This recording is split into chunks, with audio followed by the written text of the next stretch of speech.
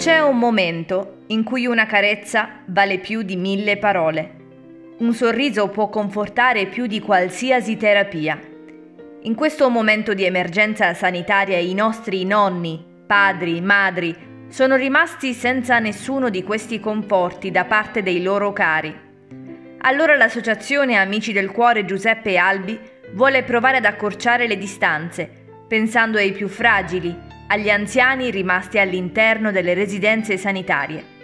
Per questo ha deciso di destinare una raccolta fondi all'acquisto di tablet e di una sonda ecografica wireless che possa fare piccoli passi anche verso la telemedicina.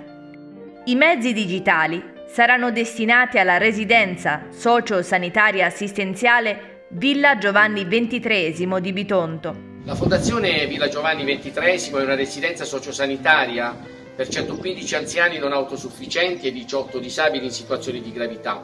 Parliamo di ospiti quindi molto fragili a causa delle loro pluripatologie Sin dal 29 febbraio abbiamo dovuto, a causa del coronavirus, chiudere la struttura a visitatori e parenti e vi lascio immaginare come questa decisione abbia potuto creare tanta sofferenza, anche se da subito abbiamo consentito ai nostri ospiti collegamenti con WhatsApp o via Skype.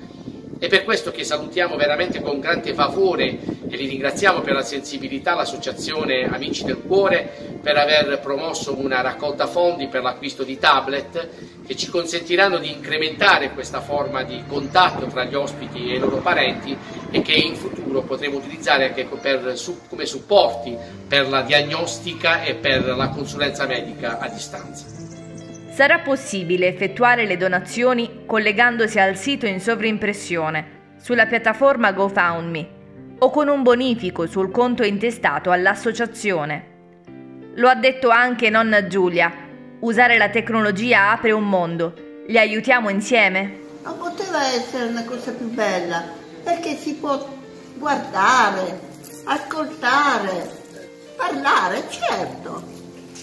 Tu, con tutti, certo.